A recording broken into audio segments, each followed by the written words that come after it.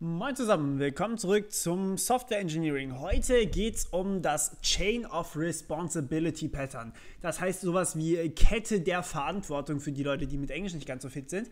Und ähm, es geht darum, dass wir von einem Client, das heißt von irgendwo außerhalb, in unser Modul rein einen Aufruf bekommen, den wir verarbeiten müssen. In dem Fall einfach kurz abgekürzt mit Handle. Das kann alles Mögliche sein und das Interface ist natürlich nicht auf eins beschränkt oder so.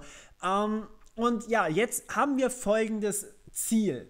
Wir wollen diesen Aufruf in der ersten Klasse, die das Interface verarbeitet, die aber vom Client angesprochen werden kann, wollen wir den Aufruf nicht gleich direkt komplett verarbeiten, sondern wir wollen vielleicht einfach nur für uns das abgreifen, was wir brauchen und unseren eigenen Senf dazugeben und anschließend diesen Handle-Aufruf weitergeben. Deswegen hier auch dieses Suck für Successor, das heißt der Nachfolger. Das heißt, es gibt immer einen nächsten Händler. Und das ist so ein bisschen die Pipeline. Also man kennt es vielleicht auch, habe ich auch schon, glaube ich, vorgestellt. Ähm, ähnlich wie das Pipeline-Pattern. Wir haben einfach hier einen Client, der was aufruft und hier wird irgendwas, also er ruft natürlich auf einem konkreten äh, Objekt was auf, das heißt nicht auf dem Händler an sich, sondern auf Klasse 1 ruft er hier was auf und dann sagt er hier, okay, also Klasse 1, das Objekt davon sagt, ich möchte jetzt hier meine Daten verarbeiten, zum Beispiel wenn wir jetzt wieder mal an ein Computerspiel denken oder von mir aus Game Engine beziehungsweise auch Photoshop oder GIMP oder dergleichen machen das so. Und zwar ähm, erstmal haben wir die hinterste Ebene. Das heißt, wir haben hier die Ebenen, also die Ebenen der Darstellung sozusagen auch eigentlich hier mein Programm, also mein äh, LibreOffice Impress heißt das Ding. Ähm, die haben alle Ebenen. Das heißt, man hat, erstmal ganz hinten hat man einen Hintergrund.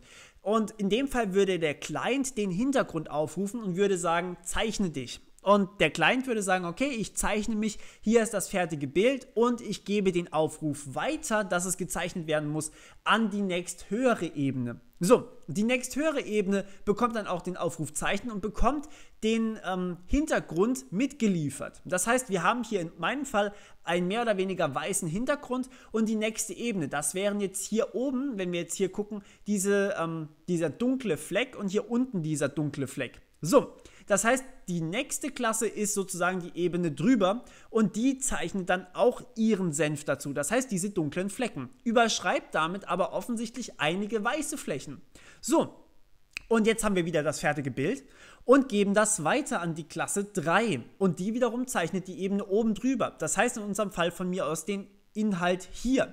Das heißt diese ganzen schwarzen Linien, aber noch nicht die Schrift. So, und das geht dann wiederum weiter. Das heißt, wir haben ein Bild, das mehrfach schon überschrieben wurde an manchen Stellen, aber an manchen Stellen kommt ja immer noch der Hintergrund raus. Hier zum Beispiel, da oben kommt der Hintergrund raus.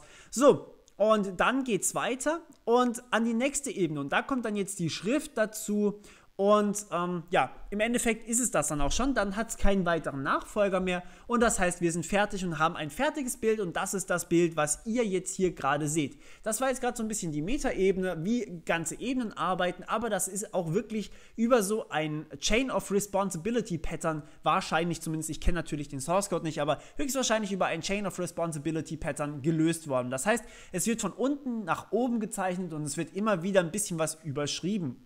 Und dafür ist das ganze Ding im Endeffekt da. Wir haben eine Kette, aber es wird auch immer wieder ein bisschen was ersetzt. Es ist sehr, sehr ähnlich wie das Pipeline-Pattern, das wir im Architekturfall schon hatten, nur dass es jetzt hier halt wirklich auf ein paar Klassen reduziert ist.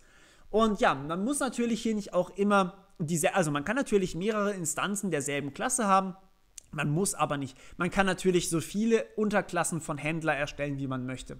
Okay, und das war's eigentlich auch schon wieder zum Chain of Responsibility Pattern. Und ja, das war's auch von meiner Seite für dieses Video. Wir hören uns beim nächsten Mal wieder. Bis dann, ciao.